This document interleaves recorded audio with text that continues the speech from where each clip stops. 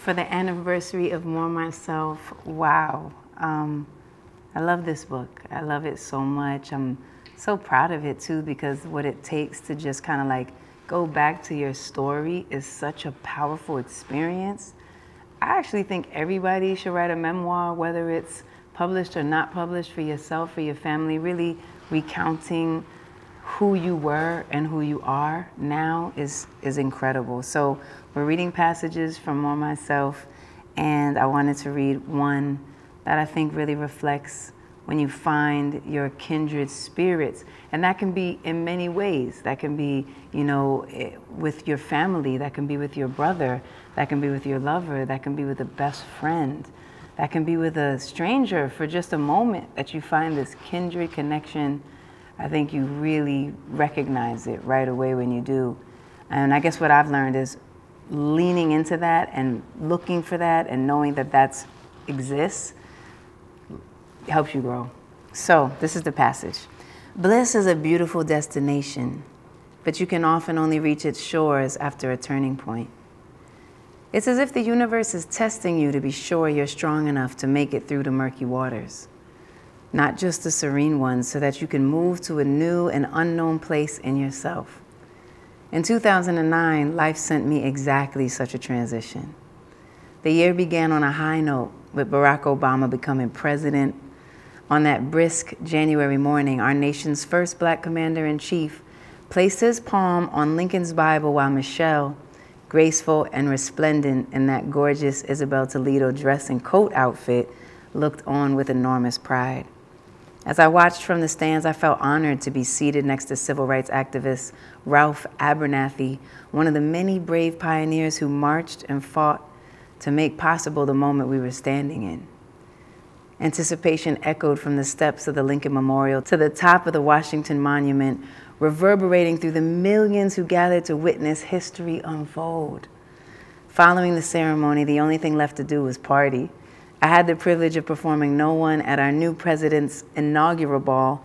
Then, following Beyonce's rapturous rendition of At Last, Mary J. Blige, Shakira, Mariah Carey, will.i.am, Sting, Faith Hill, Maroon 5, and I joined Stevie Wonder on stage to sing Sign, Seal, Deliver, I'm Yours as the first couple and the entire audience danced along.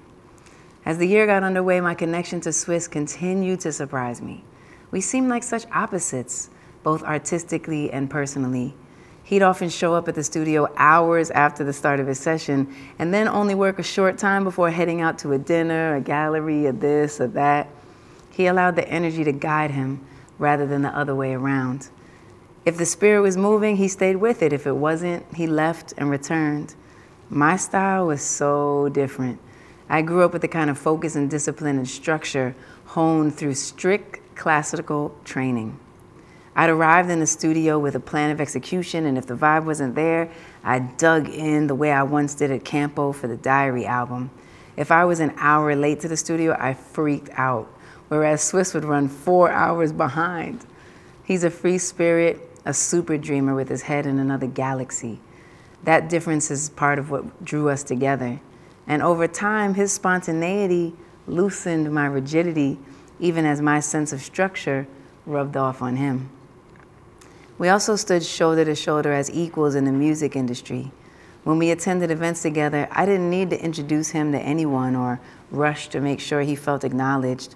I could just exhale and enjoy myself.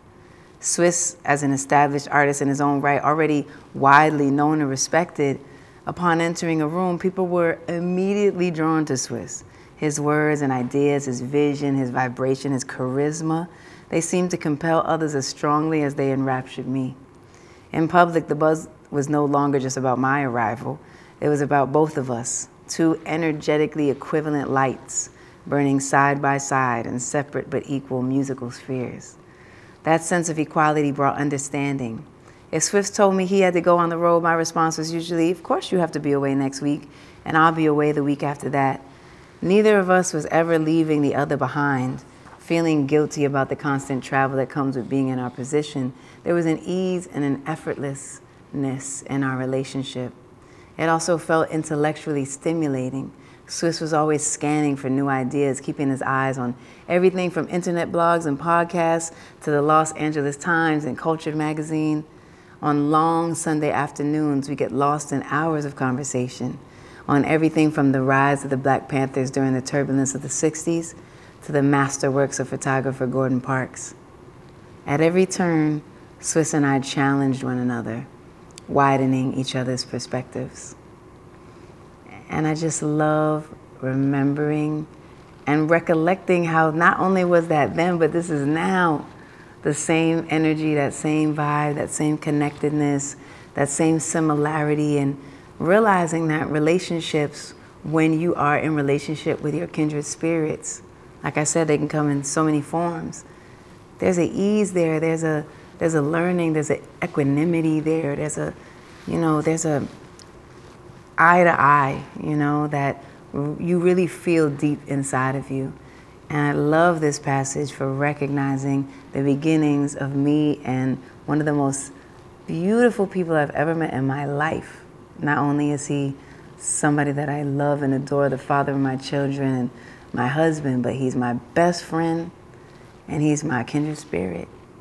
So as we are celebrating the anniversary of More Myself, I think this passage just reminds me to remind us to continue to seek out our kindred spirits, that they do exist, they are out there. And it doesn't even have to be a, a, a, a lover relationship.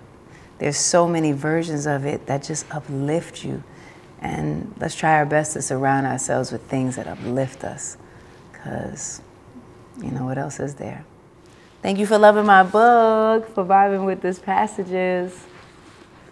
I love this.